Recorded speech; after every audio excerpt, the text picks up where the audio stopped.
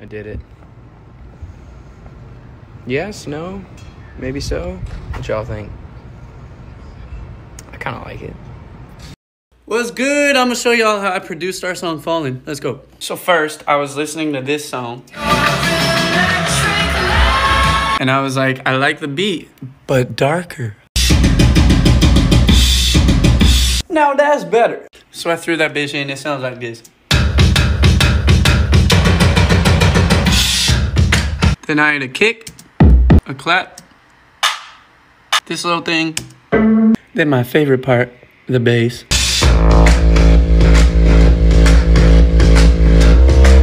Then a little guitar.